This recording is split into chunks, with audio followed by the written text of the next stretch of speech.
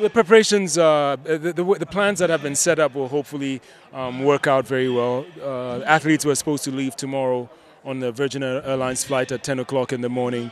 But this morning it just struck me after I talked to some of the athletes that after a whole day of competing, to get to Accra on time to join a 10 a.m. flight would have to leave here at midnight on a bus. After a day, it wasn't fair to them. So I basically told them that I was going to try and change the plans. And unfortunately, Virgin doesn't fly on Sunday. So we've moved it to Monday now, and it will give them a couple of days to unwind and get their muscles to relax before we put them on a, a seven hour flight to, to London.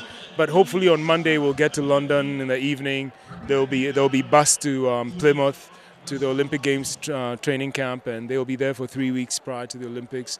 It's a good place to acclimatize yourself and uh, prepare your minds and your palates for the kind of food that you'll have in London good place to sort of get used to the British weather. I mean, people don't know it, but it rains a lot over there, and it's useful that you have three weeks in that kind of weather to familiarize yourself before you show up at the Olympics so it doesn't catch you by surprise. But all those things have been um, arranged. Uh, yesterday, we paid for the accommodation and feeding over there, so that's been taken care of. The flights have been taken care of, and so hopefully, God's grace, everything will go well.